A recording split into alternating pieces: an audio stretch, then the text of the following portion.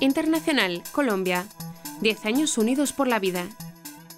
El sábado 7 de mayo, miles de colombianos de 44 ciudades participarán en la décima edición de la Marcha por el Derecho a la Vida y la Familia, bajo el lema 10 años unidos por la vida. En un comunicado remitido a ACE y Prensa, los organizadores del evento, la plataforma Unidos por la Vida, recordaron que han pasado 10 años desde que la Corte Constitucional eliminó la protección a los colombianos más débiles, los bebés por nacer. En efecto, en 2006, la Corte Constitucional de Colombia despenalizó el aborto en el país para casos de violación, riesgo de vida de la madre y malformaciones congénitas del no nacido. En abril de este año, al criticar que la Corte Constitucional aprobara el mal llamado matrimonio gay, el Procurador General de la Nación, Alejandro Ordóñez, lamentó que hoy la vida no es inviolable, como lo contemplaba la Constitución del 91.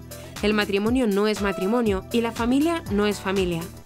Sin embargo, los organizadores de la marcha subrayaron que, a pesar del paso del tiempo y de los esfuerzos para imponer en nuestra sociedad una cultura dispuesta a sacrificar la vida de los más débiles y vulnerables, la sociedad colombiana se resiste y proclama que la vida debe respetarse y defenderse desde el vientre materno hasta su muerte natural. También denunciaron diversos incumplimientos a la sentencia de la Corte Constitucional que facilitan que actualmente una madre sea presionada para abortar al hijo que espera en lugar de recibir ayuda psicológica, médica y económica del gobierno.